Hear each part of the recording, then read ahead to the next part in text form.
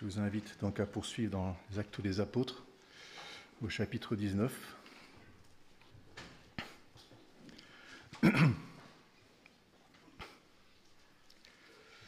Et nous lirons jusqu'au verset 7.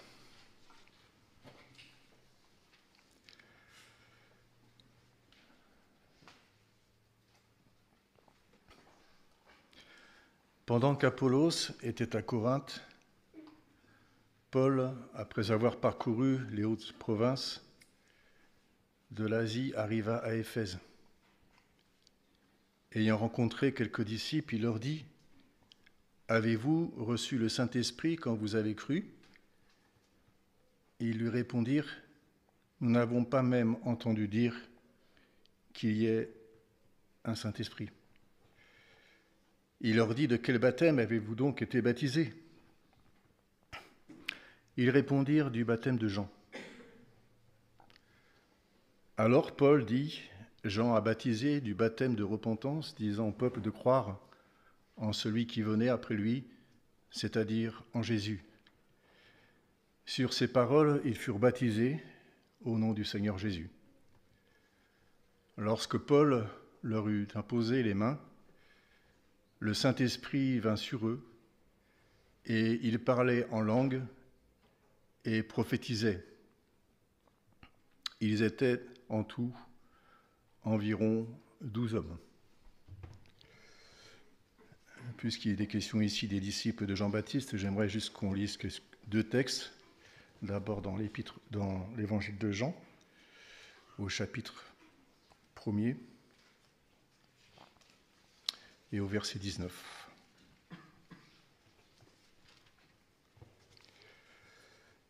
Voici le témoignage de Jean lorsque les Juifs envoyèrent de Jérusalem des sacrificateurs et des Lévites pour lui demander Toi, qui es-tu? Il déclara, et sans restriction, il affirma qu'il n'était pas le Christ. Et ils lui demandèrent Quoi donc Es-tu Élie? Il dit, je ne suis point. Es-tu le prophète? Il répondit, non. Ils lui dirent alors, mais qui es-tu Afin que nous donnions une réponse à ceux qui nous ont envoyés? Que dis-tu de toi-même? Moi, dit-il, je suis la voix de celui qui crie dans le désert. Aplanissez le chemin du Seigneur, comme a dit Ésaïe le prophète. Ceux qui, avaient été envoyés étaient des pharisiens. Ils lui posèrent encore cette question Pourquoi donc baptises-tu si tu n'es pas le Christ, ni Élie, ni le prophète? Jean leur répondit Moi je baptise d'eau. Mais au milieu de vous, il y a quelqu'un que vous ne connaissez pas et qui vient après moi. Je ne suis pas digne de délier la courroie de ses souliers. Ces choses se passèrent à Béthanie, au-delà du Jourdain, où Jean baptisait. Le lendemain, il vit Jésus venant à lui et il dit, Voici l'agneau de Dieu qui ôte le péché du monde. C'est celui dont j'ai dit, Après moi vient un homme qui m'a précédé, car il était avant moi. Je ne connaissais pas. Mais c'est afin qu'il soit manifesté à Israël que je suis venu baptiser d'eau. Jean rendit ce témoignage, j'ai vu l'Esprit descendre du ciel comme une colombe et s'arrêter sur lui. Je ne le connaissais pas. Mais celui qui m'a envoyé baptiser d'eau m'a dit, sur celui qui tu verras l'Esprit descendre et s'arrêter, c'est celui qui baptise du Saint-Esprit. Et j'ai vu, et j'ai rendu témoignage qu'il est le Fils de Dieu. Le lendemain, Jean était encore là avec deux de ses disciples, et ayant regardé Jésus qui passait, il dit, Voici l'agneau de Dieu. Les deux disciples l'entendirent prononcer ces paroles, et ils suivirent Jésus. Et un dernier texte dans l'évangile de Matthieu, des paroles de Jésus qui, qui rend témoignage à Jean-Baptiste dans Matthieu 11 au verset 9.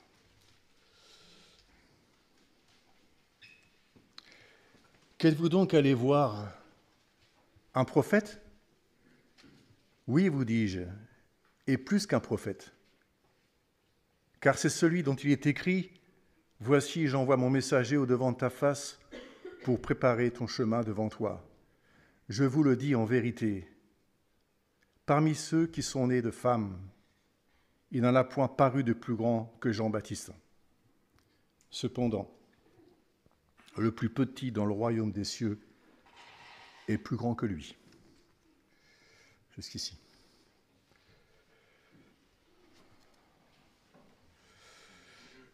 Le texte de ce matin est assez particulier. En réfléchissant et en méditant ce texte pour la réunion ce matin, euh, je me suis fait cette réflexion. Je pense que les actes des apôtres ne couvrent pas tout ce qui s'est passé dans l'Église primitive. Il y a sûrement eu des, séquences qui n'ont pas été écrites, il y a sûrement eu des rencontres qui n'ont pas été écrites, des miracles qui n'ont pas été retracés dans les actes des apôtres.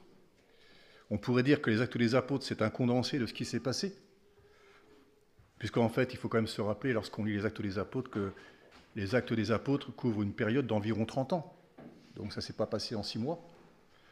Donc il se passe quand même beaucoup de choses en 30 ans. Si on devait faire euh, un récit d'une vie d'église de 30 ans, on aurait des choses à dire. Donc euh, on peut dire que les actes des apôtres ne contiennent pas tout ce qui s'est passé, mais la parole de Dieu, inspirée par l'Esprit et qui est écrite, a voulu que cette rencontre de Paul avec ses douze disciples de Jean-Baptiste à Éphèse soit écrite. Ça aurait pu passer inaperçu. Et comme on le sait, si ça a été écrit, c'est pour notre instruction.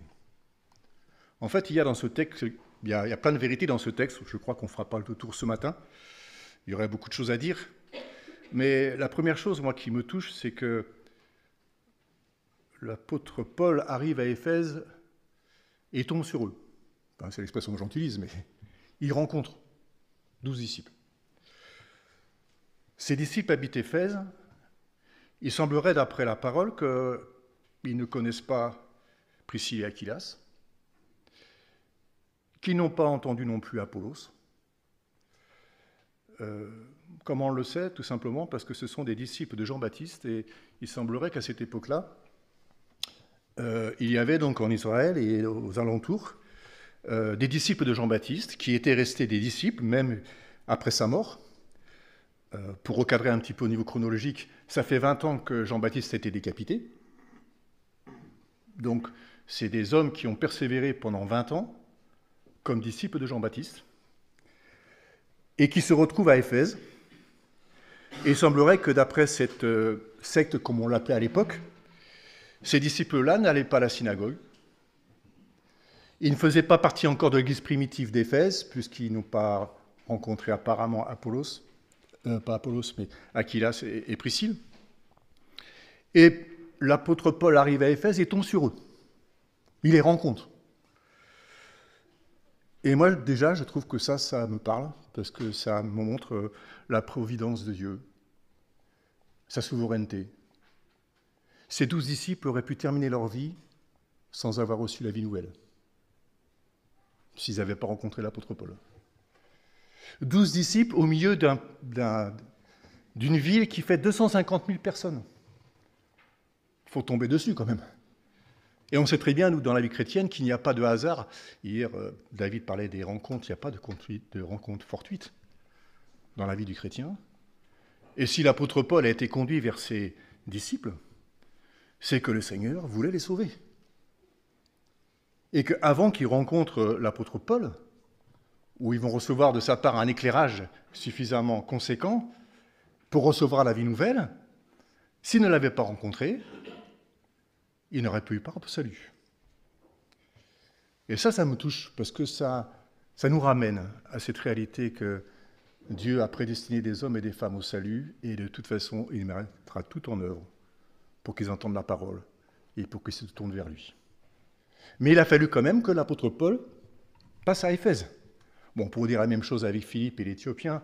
On pourrait dire, euh, je dirais, plein de rencontres comme ça dans l'Écriture où on a vraiment le sentiment que c'est vraiment conduit par Dieu Lydie la marchande de pourpre. Enfin, il y a plein de situations comme ça. Dans les actes des apôtres, on se rend compte vraiment, c'est Dieu qui dirige, c'est Christ qui bâtit son Église, il envoie ses serviteurs, et puis il y a des hommes qui sont là, qui sont prêts au salut, mais qui ont besoin d'un éclairage, et c'est ce qui fait partie de ces douze disciples. Ils avaient besoin de recevoir l'Évangile dans sa totalité. Je trouve que la fin du chapitre précédent nous introduit un peu en quelque sorte, puisque Apollos, vous vous souvenez de ce qu'on a vu hier, euh, Apollos qui était versé dans les Écritures, euh, lui, il a été un peu plus loin, puisqu'il annonçait des choses qui concernaient Jésus, il enseignait des choses qui concernaient Jésus. Mais on a vu ensemble aussi, bien qu'il il enseignait avec exactitude ce qui concerne Jésus, bien qu'il ne connaisse que le baptême de Jean. Donc c'est pareil, euh, révélation limitée. Pourtant, il parle de Jésus. Eux, ses disciples, ses douze disciples à Éphèse, ils ne parlent pas de Jésus. D'ailleurs, c'est ce qui va mettre la puce à l'oreille, si je peux dire, à, Paul, parce qu'il va, va, leur poser une question assez particulière quand même. Et donc, euh, Apollos enseignait Jésus, mais c'est clairement dit, pourtant, il était arrêté au baptême de Jean. Ça veut dire en fait qu'il n'avait pas été baptisé au nom du Seigneur Jésus. Et on a vu ensemble, Gérard l'a souligné, que Aquilas et Priscille l'ont pris. Je me suis fait la réflexion hier, vous allez dire, il est un peu tordu, Daniel, mais je me suis dit, moi, Peut-être moi je serais rentré avec ma femme, j'aurais dit, t'as vu Apollos là? Le pauvre, il n'a pas tout compris. Hein. non? Je sais pas, peut-être que je suis seul à repenser ça. Mais ce qui est touchant, c'est qu'ils ont eu à cœur d'aller le, voir, de s'approcher de lui, de le faire venir chez, eux. C'est ce qu'on rappelle un petit peu l'hospitalité d'hier soir que David nous a souligné. Bénédiction pour lui, parce qu'il va recevoir un enseignement. Ils vont lui expliquer avec exactitude ce qui concerne la voix du Seigneur. Et ça ne va pas durer une soirée. Parce que quelques temps après, il décide de partir, et là, ils vont lui faire une lettre de recommandation. Bon, c'est sûr qu'ils ne vont pas faire une lettre de recommandation s'ils ne sont pas sûrs que maintenant Apollos a tout compris. On est bien d'accord. Donc ça a pris du temps. Et c'est pour ça que ce qui s'est passé avec Apollos, maintenant on le retrouve aussi à Éphèse, avec douze disciples qui sont bien disposés, parce que je ne sais pas, euh, persévérer pendant 20 ans. Euh, il faut savoir que les disciples de Jean, à l'époque, continuaient à prêcher la repentance, continuait à, prêcher euh, le baptême de repentance et annonçait la venue du Messie. Donc c'était des hommes conséquents. Mais c'était des hommes encore perdus. Et quand l'apôtre Paul les rencontre, ayant rencontré quelques disciples, il leur dit Avez-vous reçu le Saint-Esprit quand vous avez cru? Bah, Quand même, c'est assez particulier comme démarche. quoi. Je ne pense pas que l'apôtre Paul, à plusieurs reprises, quand il rencontrait quelqu'un, il posait cette question. Pourquoi il pose cette question? Alors là, vous allez voir, les, théologiens et les commentateurs, alors là, ça va dans tous les sens. Euh, mais la parole est silencieuse, la parole ne dit pas. Pourquoi d'un seul coup l'apôtre Paul leur pose la question Est-ce que, vous avez reçu l'Esprit quand vous avez cru? Qu'est-ce qu'on peut dire là-dessus? Je pense qu'on a tous expérimenté que lorsqu'on est en contact avec des chrétiens, même si on ne se connaît pas avant, au bout de quelques minutes, on est en communion. il y a des amis Ventec qui sont là, je reprends juste un petit témoignage qu'on a vécu ici dans la région. Il y a presque deux ans maintenant, nos amis Ventec nous ont rejoints, un dimanche euh, euh, régional. On a eu un culte le matin et on a passé l'après-midi ensemble. Mais c'était incroyable, c'est que, pourtant d'origine complètement différente, chemin différent au niveau de la foi, on peut dire, cet après-midi a une, après-midi de communion, comme si on se connaissait depuis des années. Et ce n'était pas simplement dans un sens, c'était dans les deux sens. Il y avait une communion d'esprit. On n'était pas, j'irais pousser à dire, mais est-ce que tu t'es vraiment converti, toi? Est-ce que tu as vraiment reçu l'Esprit du Seigneur? Pourquoi?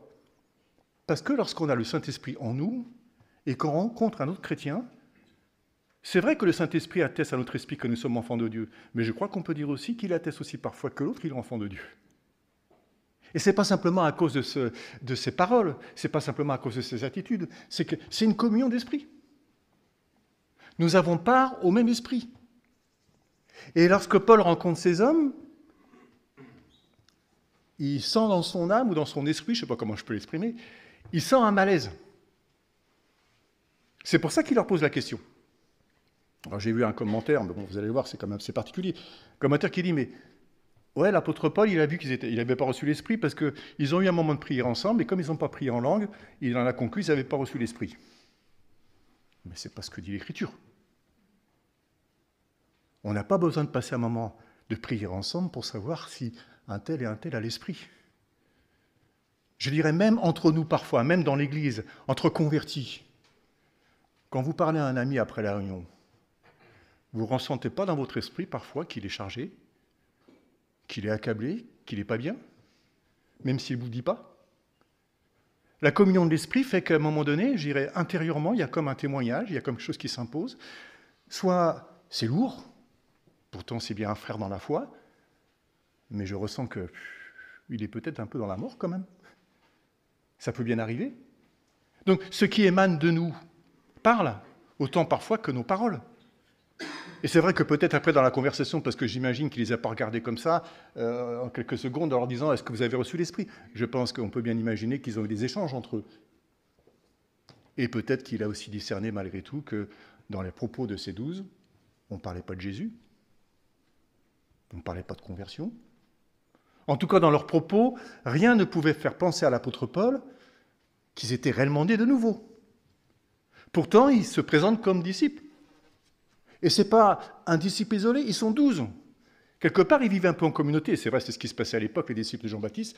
Comme justement, ils ne voulaient pas se mélanger avec les autres, ils vivaient un petit peu en communauté. Donc, ils sont douze à, je dirais, je peux pas dire se promener, mais ils sont douze à Éphèse, et l'apôtre Paul les rencontre. Et là, donc, il leur pose, questions, il, leur pose la question, avez-vous reçu le Saint-Esprit quand vous avez cru? Euh, Un commentateur a dit, mais l'apôtre Paul n'a pas dit, est-ce que vous avez reçu le Saint-Esprit depuis que vous avez cru? Sous-entendu, on peut se convertir et recevoir le Saint-Esprit après. Mais est-ce que vous avez reçu le Saint-Esprit quand vous avez cru? Parce que ça, c'est la doctrine biblique. C'est que je reçois le Saint-Esprit quand je me repens de mes péchés et quand je crois au sacrifice de Christ pour moi, quand j'ai la foi en Christ. C'est clairement établi par l'apôtre Pierre au moment de la Pentecôte, quand les hommes et juifs étaient touchés par ce qu'ils voyaient. Ils ont dit, mais hommes frères, que ferons-nous? Et la réponse de Pierre, vous la connaissez aussi bien que moi, repentez-vous, soyez baptisés au nom de Jésus, ça veut dire en fait manifestez votre foi dans le Seigneur Jésus-Christ par le baptême, et vous recevrez le du Saint-Esprit. Cette promesse est pour vous et pour vos enfants, et pour tous ceux qui sont au loin, que Dieu appellera. Donc, recevoir le Saint-Esprit, est uniquement possible si on est passé par la repentance et si on croit de tout notre cœur que Jésus est Fils de Dieu, qu'il est mort pour nos péchés et qu'il est ressuscité pour nos justifications. Là, on reçoit l'Esprit. Mais quelqu'un qui dit, voilà, moi je suis croyant et qu'il n'est pas passé par la repentance, on peut se poser la question, mais comment est-ce qu'il peut recevoir l'Esprit s'il n'est pas passé par la repentance? Je dis ça parce que parfois on rencontre des chrétiens qui, lorsqu'on leur demande un témoignage, on sent bien que le témoignage n'est pas clair. Ils vont dire Oh, j'étais dans une église, j'ai entendu des cantiques, j'étais dans ma chambre, puis d'un seul coup, j'ai eu une révélation, j'ai une paix extraordinaire qui vit dans mon cœur, et là, je sais depuis ce jour-là que j'appartiens au Seigneur. Bah. C'est très sensible comme expérience. Mais bibliquement parlant, ce qui est clair, c'est que personne ne peut recevoir l'Esprit sans la repentance. Parce que le Saint-Esprit, qui est le Saint-Esprit, ne vient pas habiter le cœur d'un pécheur qui ne s'est pas repenti. Il y a repentance où je reçois le pardon de mes péchés, ce qui permet au Saint-Esprit de venir habiter dans mon cœur. Ça, c'est ce qu'on appelle dans l'Écriture la nouvelle naissance. Et c'est ce qu'on va aussi appeler dans l'Écriture, et même si parfois certains théologiens ne sont pas toujours en accord, c'est ce qu'on va appeler le baptême du Saint-Esprit. Le baptême du Saint-Esprit, c'est quand je reçois l'Esprit de Dieu. C'est pour ça que, ici, en fait, ce qui est clair, c'est que ces hommes n'avaient pas reçu l'Esprit, parce qu'ils vont dire, mais ils lui répondirent, nous n'avons même pas entendu dire qu'il y a un Saint-Esprit. Alors s'ils l'ont entendu, parce que si c'était des disciples de Jean, Jean leur a dit, moi je vous baptise d'eau, mais il y en a un qui va venir. Et c'est lui qui va vous baptiser du Saint-Esprit. Donc ces disciples, les vrais disciples de Jean-Baptiste ont bien entendu parler du Saint-Esprit, ils ont bien aussi entendu parler de Jésus, mais ils n'ont pas entendu apparemment parler que Jésus avait donné sa vie, qu'il était ressuscité, que la Pentecôte était arrivée. C'est pour ça qu'ils disent, mais on n'a pas entendu dire ça. Et alors, en relation avec ça, c'est sûr que pour l'apôtre Paul, c'est clair. S'ils n'ont pas entendu parler de Jésus, s'ils n'ont pas entendu que la Pentecôte avait eu lieu, ben ça ne peut pas être des gens convertis. Alors la deuxième question est là, elle dit, mais, mais de quel baptême avez-vous donc été baptisé? Je dirais, la, logique est implacable. Mais de quel baptême si vous êtes disciple? Et là, ils vont répondre, du baptême de Jean. Et là, j'ai envie de dire, mais, ah bah tout s'explique. Ils ont été baptisés du baptême de repentance, mais ils n'ont pas été baptisés au nom de Jésus. Donc, ils sont restés au stade de la repentance, et ce qui était, je dirais, déjà une étape où ça montrait qu'il y avait une œuvre de Dieu dans leur cœur, parce qu'il faut quand même savoir, c'est ce que j'ai souligné dans ce texte, Jean-Baptiste, c'est quand même le plus grand des prophètes, qui est rempli du Saint-Esprit dès le sein de sa mère, et ses disciples, en fait, vont, vont avoir un, maître, si on peut dire comme ça, mais un peu, euh, comment dire, euh, un peu unique dans l'histoire quand même. Et ça me parle aussi parce que je me dis, ben, on peut être disciple d'un homme de Dieu qui est rempli du Saint-Esprit depuis, depuis, le, ventre de sa mère et est encore perdu. Parce que Jean-Baptiste est resté un homme quand même. Et ce qui est clair, c'est que même dans le ministère de Jean-Baptiste, c'est pour ça que j'ai lu ce texte euh, où on voit les deux disciples de Jean-Baptiste, André et Jean, partir quand, Jésus passe et, de nouveau Jean-Baptiste dit Voici l'agneau de Dieu. Et ses deux disciples l'entendent et ils suivent Jésus. Donc on voit bien que Jean-Baptiste n'était pas là pour accaparer du monde à lui, mais qu'il était là comme pour annoncer la venue du Seigneur. Et quand le Seigneur est là, il confesse devant ses disciples Voici l'agneau de Dieu. Et heureusement qu'on va retrouver ces deux disciples après auprès de Jésus, qui ont quitté Jean-Baptiste, eux, parce qu'ils ont compris que c'était Jésus, l'agneau de Dieu qui ôte le péché du monde. Donc c'est sûr que lorsqu'ils disent, bah, c'est du baptême de Jean. Et là, on comprend à ce moment-là qu'ils ben, ne sont pas nés de nouveau. Ils n'ont pas pu effectivement recevoir l'Esprit. C'est pour ça que dans cette relation avec eux, l'apôtre Paul sentait vraiment qu'il y avait quelque chose qui manquait. Il y avait, un manque. Alors, je dis ça parce que ça va dans les deux sens. Je, m'explique. Euh, pour tous ceux qui sont nés de nouveau, on peut dire, la Bible dit, le Saint-Esprit rend témoignage à notre esprit que nous sommes enfants de Dieu. C'est marqué dans l'Épître aux Romains, chapitre 8. Et il y, a quelques, semaines, il y a une jeune femme, après une réunion, qui est venue me voir, en larmes, et qui me dit Écoute, Daniel, euh, je suis dans l'église depuis 20 ans, mère de famille, engagée. Et elle me dit En fait, moi, je ne sais pas si j'ai reçu l'esprit. Ah bon Alors, j'ai dit, mais comment tu t'es, converti? Alors elle me dit, touchée par la parole, convaincue de péché, elle s'est repentie devant Dieu, elle a confessé de sa bouche le Seigneur Jésus, elle croit qu'il est fils de Dieu, qu'il est mort pour ses péchés pour elle, elle a donné sa vie au Seigneur. Mais elle ne savait pas, parce qu'elle ne sentait pas qu'elle n'avait pas l'esprit. Elle avait le sentiment, je dis bien le sentiment, qu'elle n'avait pas ce témoignage intérieur de l'esprit. Alors c'est sûr que bon, je m'y attendais pas trop. Et, je j'ai dit, mais écoute, euh, ce qui est quand même particulier, c'est que quand tu pries, quand tu parles, c'est une évidence que tu es une sœur dans le Seigneur. Et là, de nouveau, elle se met encore plus à pleurer, mais, elle dit, mais, mais moi, j'y arrive pas dans ma vie chrétienne, pour moi, j'ai l'impression que j'avance pas, etc., etc. Et euh, à un moment donné, je lui dit, mais tout, tu sais, franchement, si tu n'avais pas l'esprit, tu ne te poserais pas toutes ces questions. Est-ce que la parole te parle quand tu l'écoutes? Ah bah oui, elle me touche. Est-ce que la parole te reprend? Ah bien sûr qu'elle me reprend. Est-ce que la parole te console? Bien sûr, elle me console. Et j'ai dit, tu me dis que tu n'as pas l'esprit. Il faut revenir aux Écritures. Et je dis ça parce que parfois, il y a des chrétiens qui, qui ont cette difficulté intérieure, qui ne ressentent pas. Il dit que l'Esprit de Dieu rend témoignage à mon esprit, pas à mon âme. C'est vrai que parfois l'Esprit va donner à mon âme, comme Jésus a tressailli de joie par le Saint-Esprit, c'est vrai que parfois l'Esprit va aussi envers notre âme, si on peut parler comme ça, et nous donner des sentiments, effectivement, qui vont se manifester, qu'on va bien ressentir. Mais le témoignage de l'Esprit qui habite mon esprit, je ne vais pas forcément le ressentir au niveau de mes sens. Mais il s'applique et il s'appuie uniquement sur l'Écriture. Si je me suis repenti, si j'ai confessé ma foi au Seigneur Jésus-Christ, si j'ai donné ma vie au Seigneur Jésus-Christ, et si après, par le baptême, je l'ai confessé devant l'Église, c'est sûr, d'après la parole, j'ai l'Esprit. Et je vous lis juste ce texte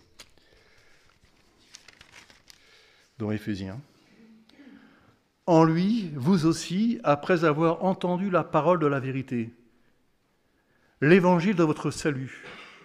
En lui, vous avez cru, donc on entend, on croit, et vous avez été scellés du Saint-Esprit qui avait été promis. Ici, il n'est pas question de temps d'attente. Il n'est pas question de dire, voilà, je me convertis et ensuite je recevrai, euh, en l'occurrence, le baptême de l'Esprit. Je dis ça parce que j'ai entendu un commentaire d'un homme assez référent dans, les milieux chrétiens qui a fait un cours sur le Saint-Esprit il n'y avait rien à dire sur tout ce qu'il disait sur le Saint-Esprit. Et puis il arrive au moment du baptême du Saint-Esprit, et voilà sa conclusion. Eh bien, euh, acte 19 montre que le baptême du Saint-Esprit, c'est une deuxième expérience après la conversion. Bibliquement parlant, acte 19 n'est pas une deuxième expérience.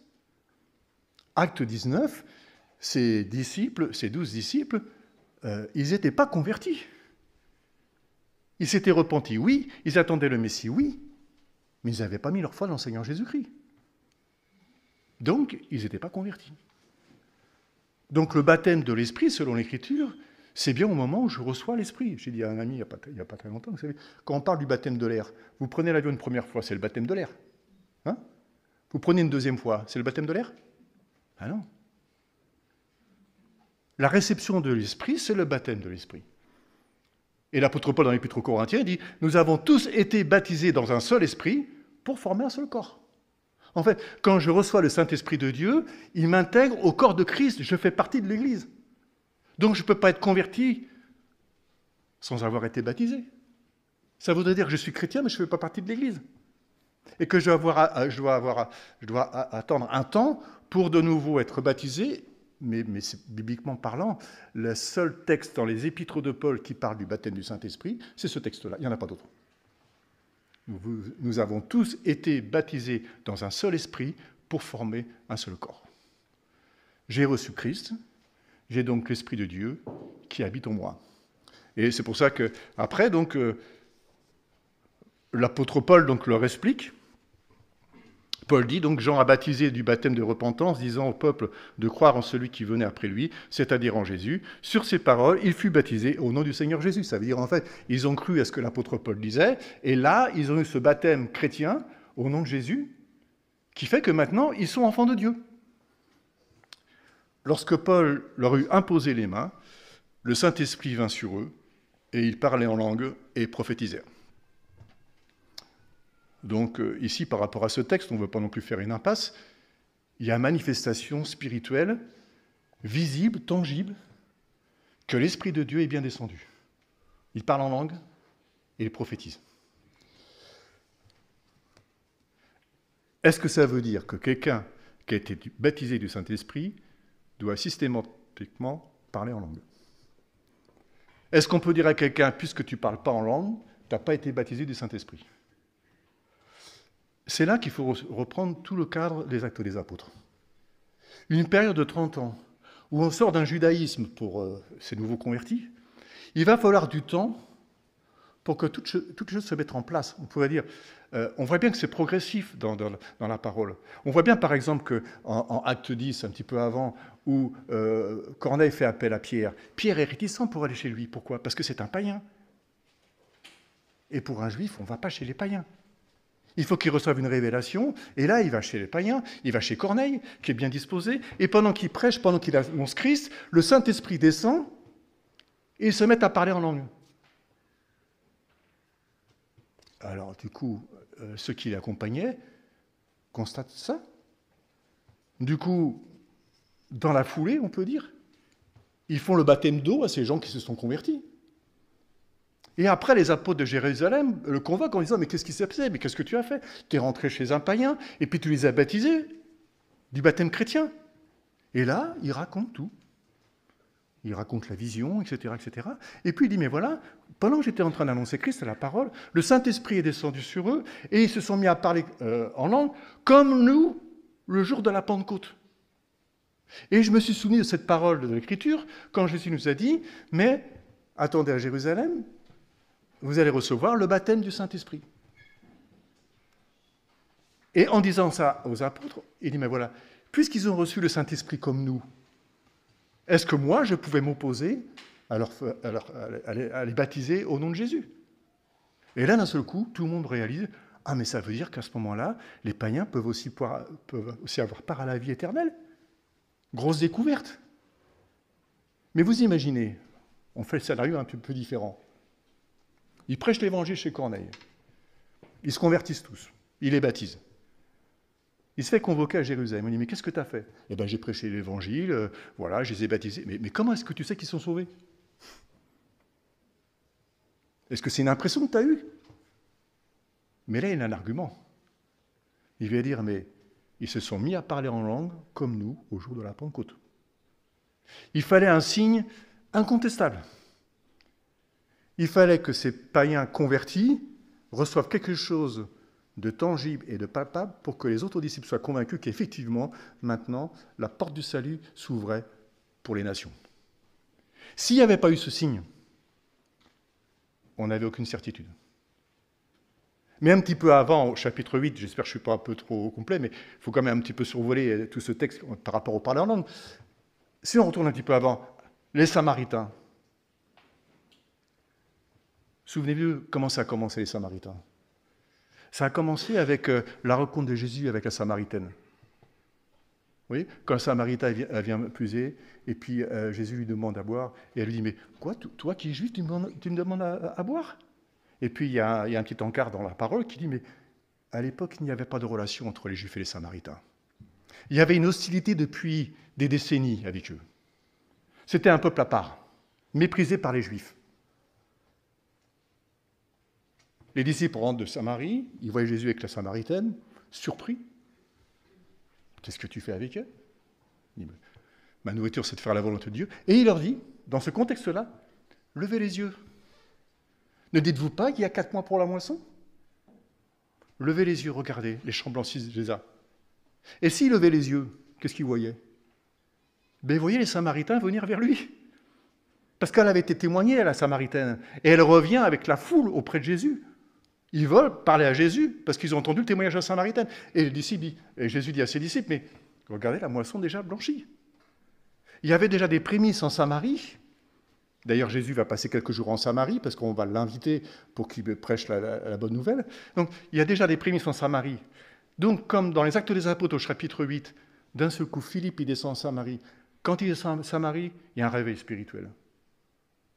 Bah, c'est sûr que les apôtres euh, vous imaginez, ils apprennent que les Samaritains reçoivent la foi. C'est particulier quand même. Donc ils envoient en délégation Pierre et Jean. Et arrivés chez les Samaritains, la Bible dit que Philippe les avait baptisés au nom de Jésus. Donc, vraie conversion, euh, repentance, conversion, baptême chrétien, mais la Bible souligne euh, quelque chose de précis. Je vous lis le texte.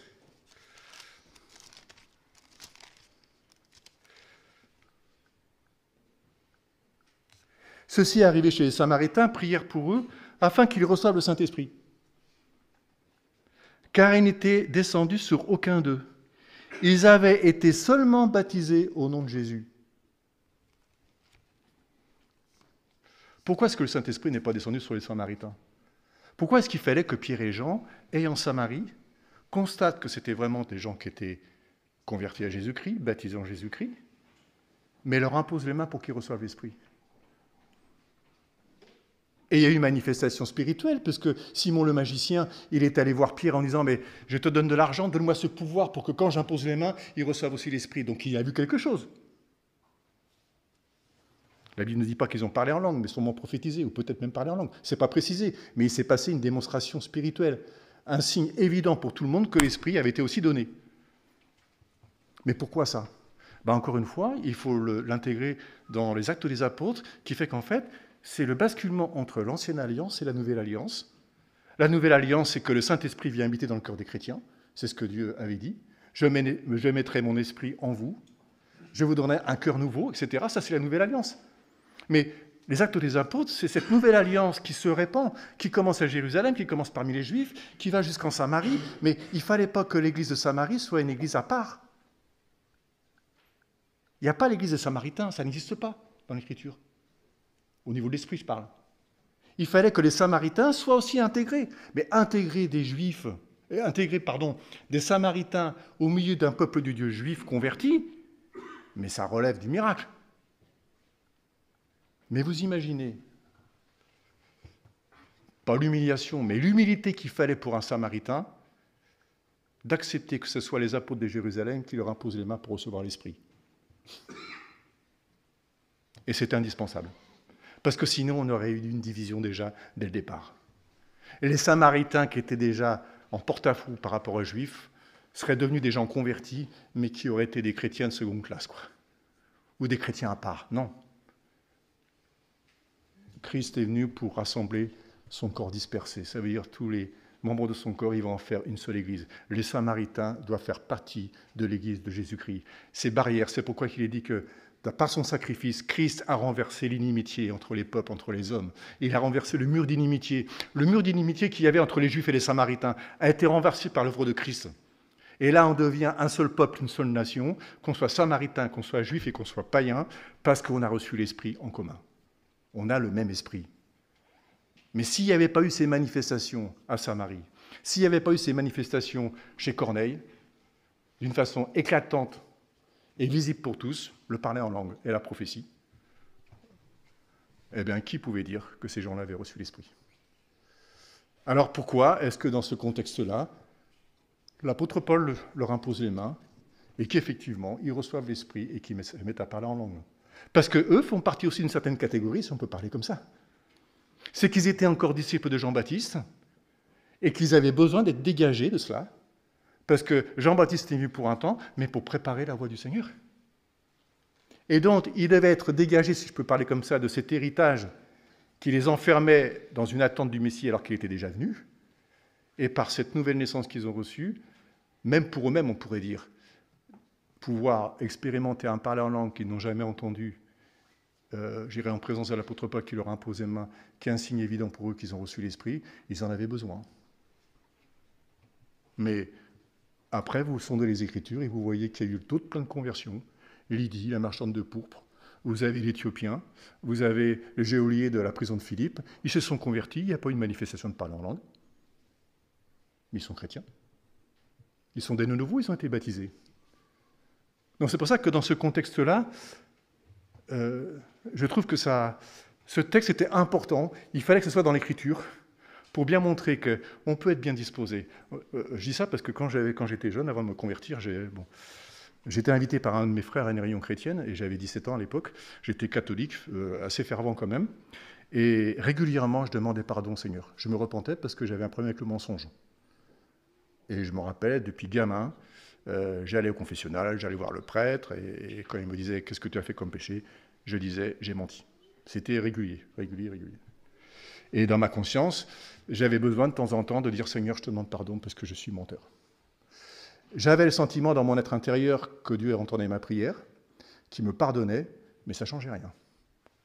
Et euh, quand, mon frère, quand un de mes frères m'a invité, il y avait un évangéliste de passage en région parisienne, et là, pendant la première réunion, j'étais convaincu de péché, j'ai vu que j'étais perdu, parce que les menteurs n'iraient pas le royaume de Dieu, donc c'était incontournable, malgré ma religion. Quoi.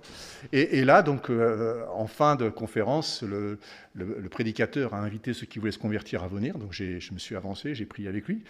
Et, il ne m'a pas expliqué, quand je me suis converti, si, il m'a expliqué que j'étais pécheur, que je croyais au sacrifice de Christ, donc j'ai prié après lui, etc. Euh, euh, et c'est vrai que je suis reparti, j'avais une paix dans mon cœur, je savais que le Seigneur avait exaucé ma prière. Bon. Mais il ne m'a pas expliqué, mais tu sais, maintenant tu reçois le Saint-Esprit, enfin bon, voilà. Et, pendant quelque temps, euh, comment dire, j'ai encore bagarré par rapport à ce péché de mensonge. C'était plus fort que moi. Je, je, disais pourtant, pourtant, maintenant je suis converti, mais il y a encore ce mensonge qui est là et je m'en sortais pas. Et, et, quelques temps après, euh, c'est comme une révélation. Euh, tu as reçu le Saint-Esprit qui est l'Esprit de vérité. Il est parlé de ceux qui reçoivent l'amour de la vérité pour être sauvés. Je l'ai saisi dans mon cœur, j'étais délivré du mensonge. Parce que j'avais reçu une force qui n'était pas de moi, c'était l'esprit de vérité qui était venu habiter dans mon cœur, et c'était lui seul qui pouvait m'affranchir de ce mensonge. Et il l'a fait. Mais mon frère m'aurait pas invité à une réunion comme ça, je n'aurais pas entendu l'évangile. J'aurais pu terminer ma vie d'une façon religieuse, confessant mon péché régulièrement, sans être sauvé.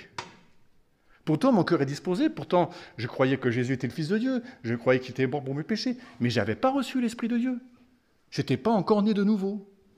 Il fallait donc que je passe par la repentance, que j'ouvre mon cœur, que je sois né de nouveau et que je reçois l'Esprit de Dieu en moi. Et c'est ce qui a fait toute la différence. C'est ce qui m'a donné la force de pouvoir renoncer au mensonge qui était attaché à mon propre cœur naturel. Et c'est pour ça que ces disciples bien disposés à Éphèse, c'était indispensable pour eux, pour leur salut, euh, qu'ils rencontrent l'apôtre Paul, pour que le plan de salut soit vraiment bien révélé à leurs yeux et qu'ils aient part à l'esprit. Et on peut dire, on peut penser, euh, après il n'est pas question d'eux, mais on peut penser qu'après cette conversion à Jésus-Christ, eh bien ils ont sûrement fait partie de l'église d'Éphèse. Euh, l'apôtre Paul est resté entre deux ans et demi et trois ans à Éphèse, je crois, donc il est resté une bonne période. Je pense qu'ils ont dû s'attacher à l'église, mais c'était indispensable pour eux. Je termine par un autre aspect, parce que euh, si je veux vous dire, si je vais être un peu personnel avec vous, c'est un sujet qui m'a toujours un petit peu quand même, euh, pas tourmenté, mais toujours euh, questionné. pour tout dire, il y, a, si je fais un petit, un petit retour en arrière, ça nous permettra un petit peu mieux de connaître de la région, mais il y a 42 ans, on était à plein temps avec Gérard dans l'église de Rennes. 42 ans, ça commence à faire beaucoup quand même. Hein. Et à l'époque, donc, Monsieur Haas avait fondé l'église euh, un missionnaire américain avait fondé cette église de Rennes et on s'était retrouvés tous les deux. Euh, Gérard avait fini, avait, fini, en tout cas, il rentrait d'Emmaüs de l'école biblique, et nous, on devait, on devait partir en région parisienne dans une, dans une autre mission. À l'époque, on ne connaissait pas du tout la mission. Et on s'est retrouvé avec Gérard parce que M. Haas avait dit à l'église, écoutez, nous, on repart aux États-Unis pendant un an, euh, Gérard et Daniel resteront dans l'église, donc vous allez faire des économies pendant, euh, pendant un an. Il avait vraiment anticipé la chose. Hein. L'église avait fait des économies et l'église pouvait nous payer euh, deux salaires pendant un an, pendant que lui était aux États-Unis. On s'est retrouvé avec Gérard. Il y, a des anciens qui sont là, donc ils s'en rappellent sûrement.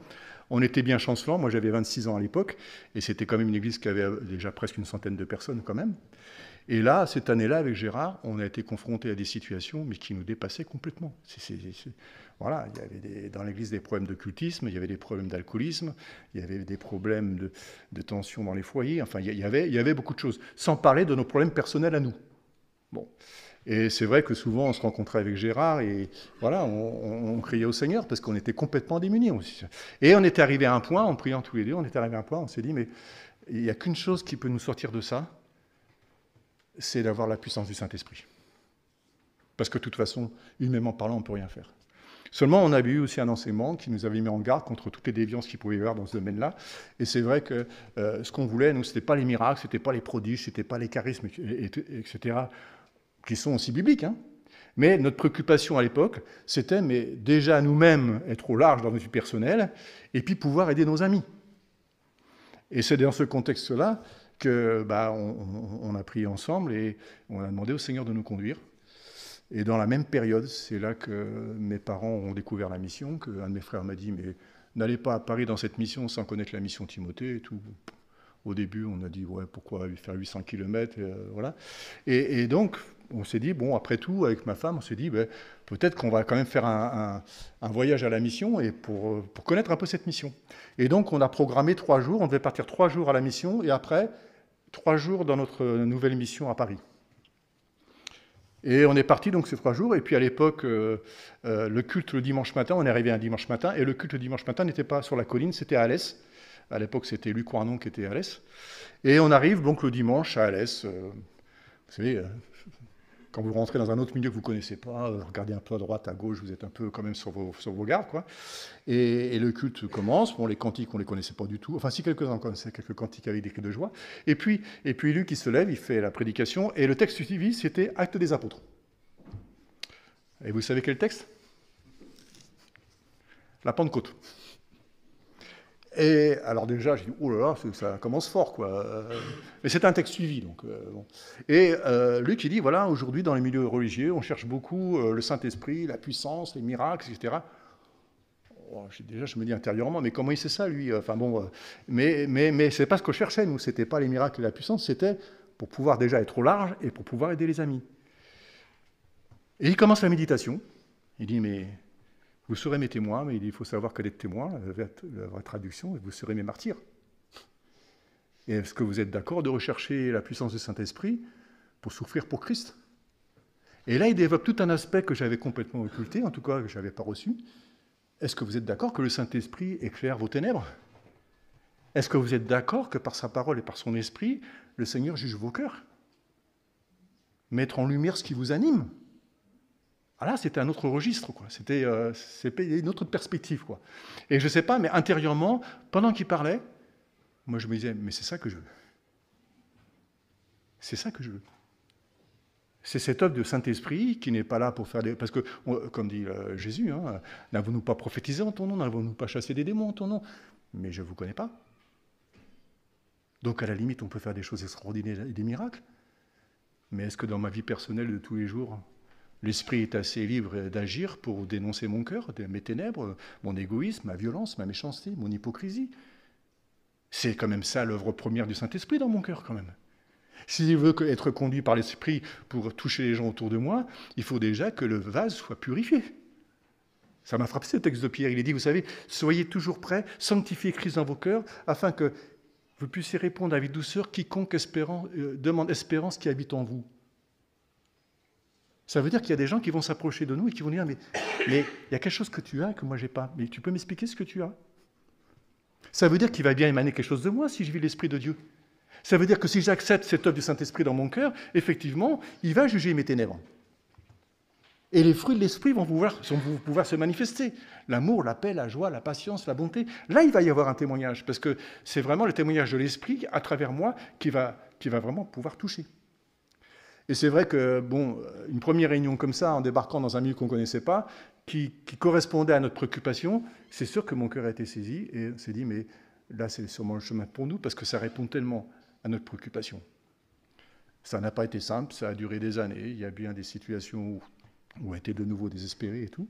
Et d'une façon un peu récurrente, j'ai envie de dire, ce problème, enfin, c'est pas ce problème, cette préoccupation de l'esprit, parce que peut-être vous vous posez la question aussi, vous dites, mais moi, moi j'ai reçu l'esprit, mais je dois reconnaître quand même que la plénitude de l'esprit, c'est pas mon quotidien quand même.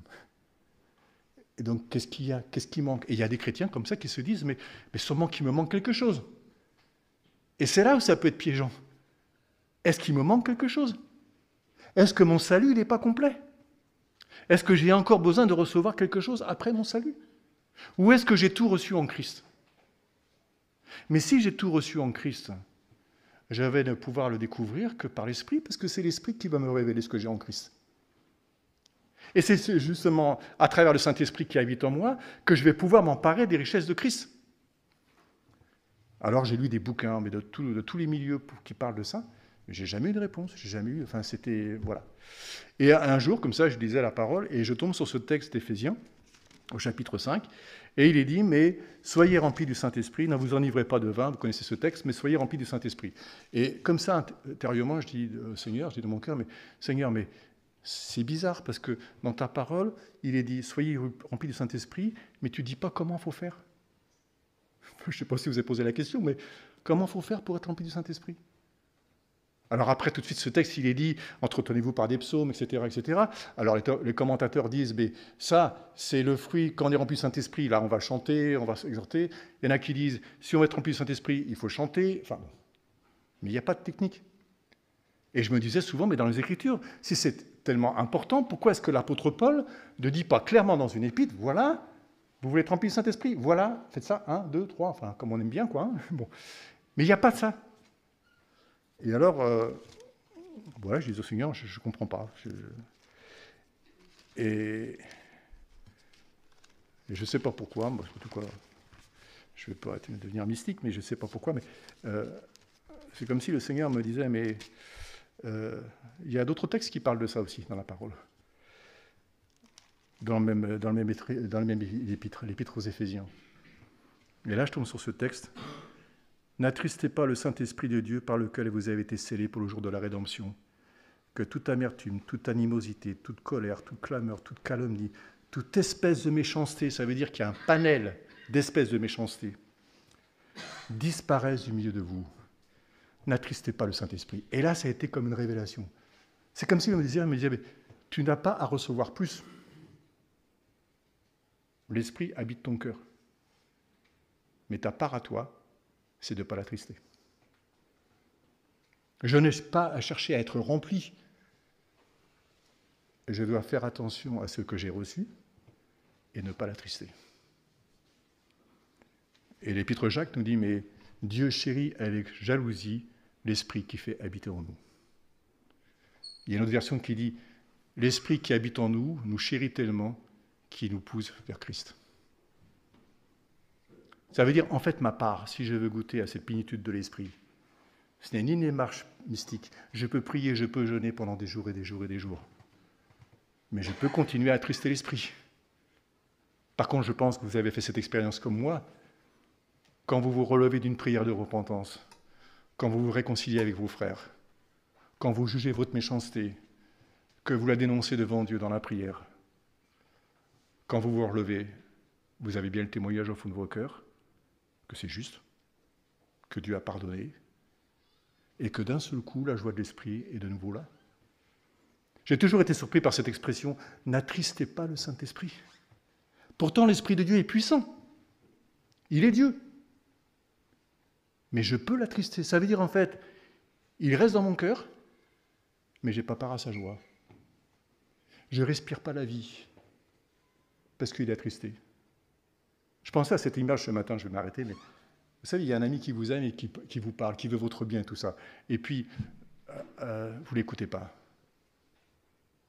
Il finira par se taire. Il attendra que vous reveniez pour vous dire est-ce que tu as quelque chose à me dire? Quand la parole dit n'éteignez pas l'esprit, ne méprisez pas. Ça veut bien dire que l'esprit est bien là, mais mon attitude peut faire que je ne vais pas en jouir pleinement. Non pas que j'ai besoin de recevoir quelque chose encore de plus. Je l'ai reçu en Christ. Vous avez tout pleinement en Jésus-Christ. Le Saint-Esprit habite mon cœur. Mais ma marche maintenant chrétienne, c'est de veiller à ne pas l'attrister.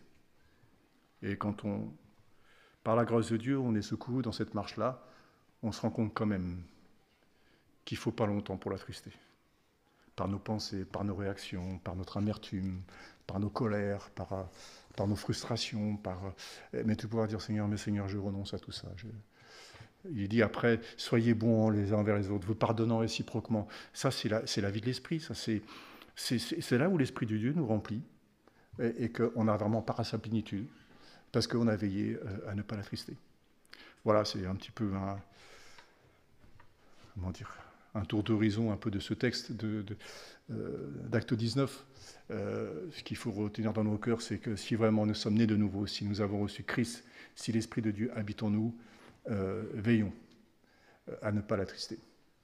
Et à l'écoute de la parole, laissons-nous reprendre, enseigner, corriger, parce que c'est là que l'Esprit, à ce moment-là, nous console. Parce qu'il dit aussi qu'il nous reprend, mais il nous console aussi. Il est appelé le consolateur. Et bien que le Seigneur nous permette de pouvoir le vivre jour après jour. On va prier ensemble pour terminer.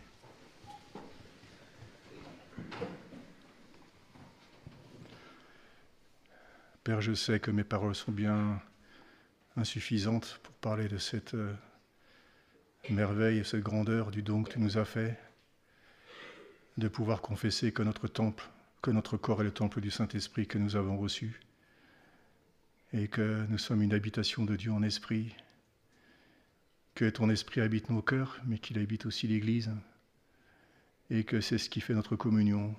Nous avons part au même esprit. Nous te demandons pardon, Seigneur, dans nos vies pour toutes les fois où nous l'attristons, où nous le méprisons lorsqu'il nous parle, où nous ne voulons pas l'écouter lorsqu'il nous conduit. Et nous te demandons la grâce de nous donner ce cœur sensible à ta voix. Merci de nous accorder encore ta parole, qu'elle soit renouvelée sans cesse, qu'elle soit aussi prophétique pour nos cœurs et nous te bénissons parce que ton esprit est un esprit, de vie et de vérité. Et c'est ce que notre cœur a besoin. Nous te rendons grâce, nous te prions aussi pour tous ceux qui n'ont pas encore reçu dans leur cœur l'esprit de vie en Jésus-Christ, pour que toi-même tu les conduises à cette repentance et à cette foi, comme tu l'as fait pour chacun d'entre nous, tu l'as fait par grâce. Nous voulons, Seigneur, aussi être ces envoyés de ceux que tu conduis auprès de ceux qui sont peut-être euh, dans une recherche de toi, de ta parole, de ton nom, sans vraiment te connaître, être dans l'ignorance. Tu as envoyé Paul à Éphèse, tu peux nous envoyer aussi. Tu peux faire comme on l'a vu, comme Priscille et Aquilas. Tu peux faire que dans nos maisons, on puisse recevoir aussi des hommes, des femmes qui ont besoin de toi. Seigneur, merci de nous équiper, merci de nous donner ce cœur sensible et de nous renouveler dans la foi. Au nom de Jésus. Amen.